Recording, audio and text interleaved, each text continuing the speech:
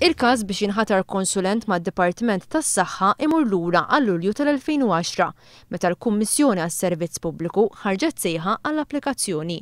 Fl-20 ta' Jannar tal-2011, tliet tobba li dan l-aħħar ressqu protest ġudizzjarju saru jafu li wara dak iż-żmien kollu ċertu tabib Cuschieri kien ġie l-ewwel fil-proċess tal-għażla. F'Novembru tal-2011, il-Kummissjoni għas-Servizz Pubbliku infurmat lil dawn it-tliet tobba li kienet iddeċidiet li tikkanċella dan il-proċess tal-għażla u jerġa' jibda kollox mill-ġdid. F'konferenza tal-aħbarijiet, il-kelliema ewlenija Laburista għall-Amministrazzjoni Pubblika, Helena Dalli, qalet li mhux aċċettabbli li l-Kummissjoni għas-Servizz Pubbliku kellha tħalli għaxar xhur jgħaddu biex tasal għad-deċiżjoni li tħassar il-proċess tal-għażla.